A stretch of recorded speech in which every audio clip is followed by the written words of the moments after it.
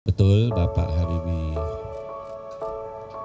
Tidak begitu sehat, tapi mohon dimengerti, beliau itu memang agak sepuh ya, sudah di atas 80, yakni 83, menjalankan 84. Beliau beraktivitas sangat banyak, sangat tinggi, sehingga beliau suka lupa bahwa beliau tuh udah 80 karena otaknya masih jalan tapi sesuai dengan natura manusia badan tidak akan selalu ikut. Bapak saya memang dari dulu semenjak muda punya masalah dengan jantung.